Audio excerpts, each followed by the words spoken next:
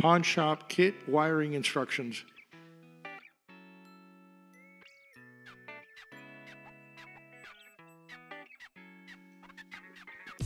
First, you need to cut off the end of the transformer wire. On the transformer, identify the positive and negative wires. Note that the positive has white markings along the wire and the negative is solid black. On the receiver, you'll have to identify the red for positive, the black for negative, the yellow for common, the blue for normally closed, and the green for normally open.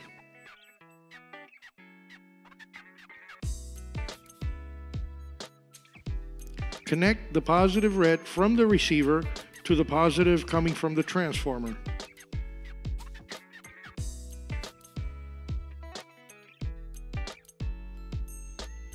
Connect the negative solid black from the transformer to the negative solid black from the receiver. Connect the common yellow from the receiver to the negative wires you have just connected. You can now connect the harness to the receiver, which should have the blue and the green wires free.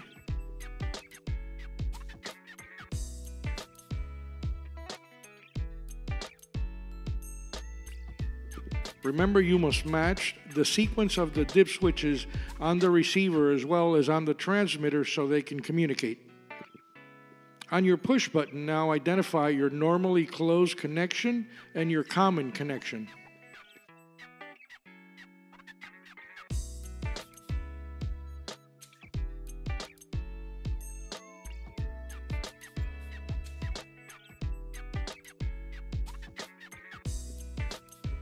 On the push button now, connect the normally closed from the receiver, which is the blue wire, to the normally closed terminal and bring an extra wire to the common terminal.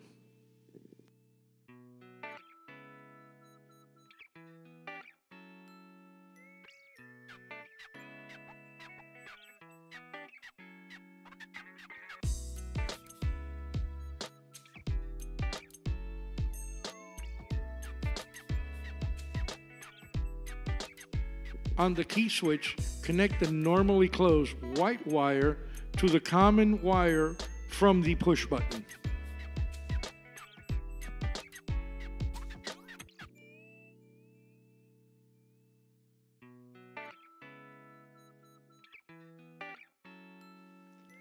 On the magnet, connect the common from the key switch to the negative terminal and the positive wire coming from the power supply to the positive terminal.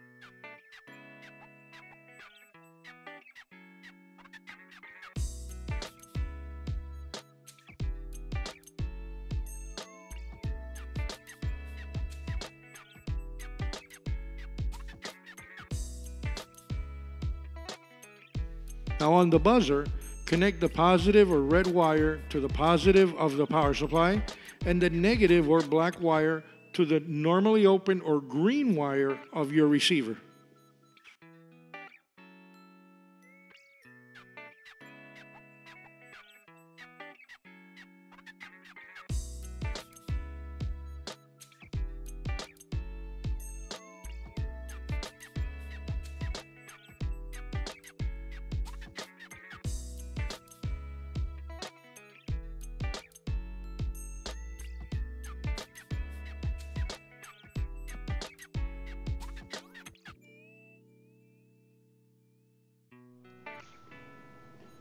Now you're ready to plug in your power supply and test your circuits.